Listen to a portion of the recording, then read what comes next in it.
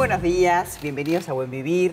Hoy nos vamos a dedicar a la tiroides, que está bueno hablar de este tema. Hay muchas mujeres que están medicadas tomando T4 y hay una incidencia alta de problemas que hay que anticiparse. Tengo un equipo del CASMU para presentarles que nos habla de este tema. La doctora Rosa Finosi, ella está a cargo, es jefa del Departamento de Endocrinología, Diabetología y Metabolismo. Gracias por venir, Rosa. Gracias por la invitación. Y con buenas noticias ahora les vamos a contar. También nos acompaña el doctor Javier Rodríguez Frau, que eh, se ocupa especialmente de hacer las ecografías de tiroides y tratamientos no invasivos. Así que vamos a hablar largo y tendido de este órgano tan importante. ¿Cómo están? Gracias por la invitación. Gracias, es la primera vez que los tengo además, ¿no? Sí, sí, sí. La tiroides regula un montón de cosas, ¿no? Sí, la tiroides es una glándula que tenemos en el cuello, la cual secreta T4 y eso actúa a nivel de todo el organismo, tanto psicológico, mental, metabólico, cardiológico, sí el cansancio, el peso, la temperatura y tantas cosas. Es increíble cómo se ocupa de, muchísimas funciones. ¿no? Y del crecimiento en el niño también. Bien. Ahora, la incidencia ha crecido este, en cuanto a la parte de, cánceres o de patologías, ¿no? Y entonces es importante diagnosticar a tiempo. Sí, en realidad la patología de tiroides se, se divide en dos, de la parte de alteraciones estructurales de la glándula y funcionales. Entonces uno puede tener una alteración funcional y una alteración estructural, que son nódulos tiroideos, quistes tiroideos. Puede tener las dos cosas juntas o puede tener solamente alteraciones nodulares tiroideas. Por eso el diagnóstico es fundamental para ver cómo sigue el, tratamiento, si es quirúrgico, si es no quirúrgico y sobre todo yo decía de anticiparse para siempre. en, medicina todo lo que agarramos a tiempo es mejor, ¿verdad? En ese caso la ecografía es una de las técnicas que más utilizamos es la técnica que tiene mayor sensibilidad y mejor resolución para evaluar los nódulos tiroideos. Nos permite hacer como catalogarlos en, diferentes subgrupos y, ahí, lo que hacemos es darle un, riesgo de malignidad potencial al nódulo y en función de eso se puede optar por hacer seguimiento por ecografía, hacer punciones o eventualmente em, otras técnicas. Con eso vamos como preseleccionando. Cuando decís otras técnicas, hablamos por supuesto de lo quirúrgico, pero también hablamos de radiofrecuencia.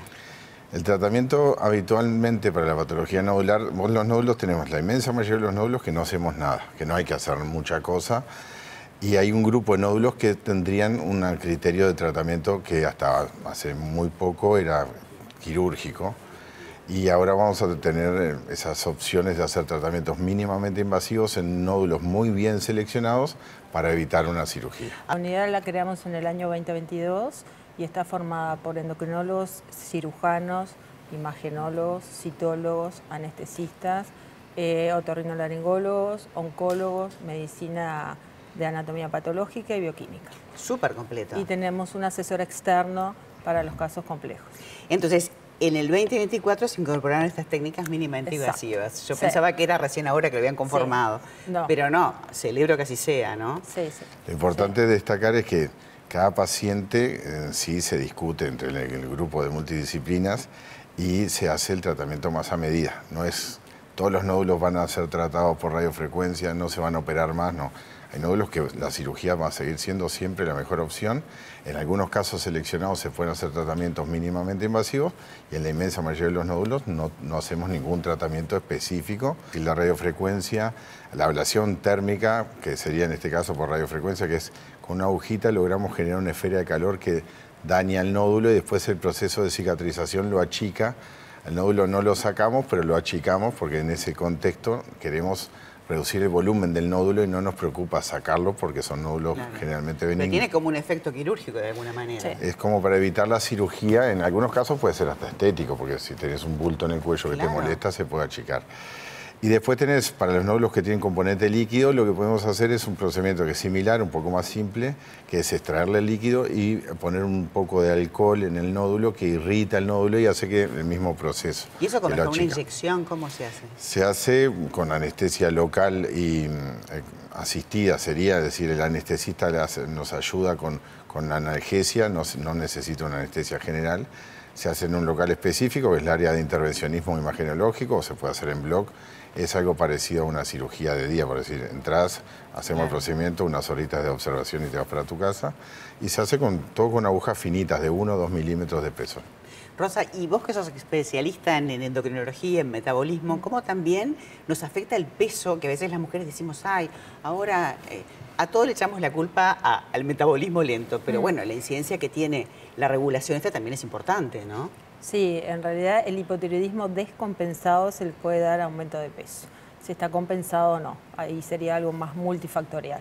Claro. Pero sí, este, puede dar alteración. Es importante eh, también en estos casos en los que a veces el paciente va a cirugía, eh, que se extrae toda la tiroides, tiene que quedar con tratamiento de por vida con levotiroxina, ¿no?